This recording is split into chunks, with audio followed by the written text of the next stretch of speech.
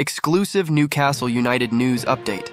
Today, we're delving into the swirling world of transfer rumors, where truth and fiction collide. Football Insider's Peter O'Rourke has sparked a frenzy with his latest scoop, and it's got everyone talking. Exciting news, Toon Army, and Marquise here.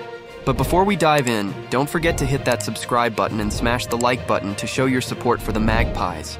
Reports are buzzing that Newcastle might be waving goodbye to one of their brightest stars this summer.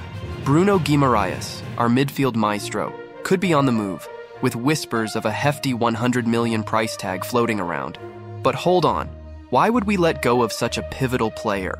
Well, according to O'Rourke's sources, it could be a strategic move to bankroll not one, not two, but four new signings. Imagine the excitement of fresh talent gracing St. James's Park. Now, before panic sets in, let's dissect this. Yes, Financial constraints have slowed our progress, and yes, the squad needs a revamp. But losing Bruno, that's a tough pill to swallow. He's not just a player, he's part of the Toon family, with his newborn even claiming Geordie roots. Sure, the season's been rough, but we're not hitting the panic button just yet. Eddie Howe and the board recognize Bruno's value. He's the linchpin of our future plans. While a big money offer might tempt some, Bruno's heart might just keep him in black and white. So, what's the verdict? Could Bruno be donning a different jersey next season?